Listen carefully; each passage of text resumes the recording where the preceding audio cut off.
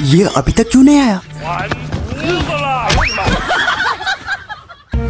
अगर दोबारा दिखा पैर तोड़ के रख दूँगी। तुम्हारे एज के लोग कितने अच्छे अच्छे काम करते हैं और तुम गाँव को बदनाम कर रहे हो।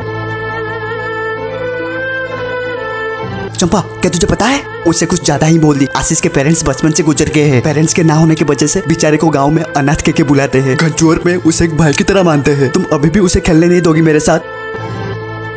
मुझे नहीं पता था। ऐसा तुम खेलने क्यों नहीं जाते? सही कह रही।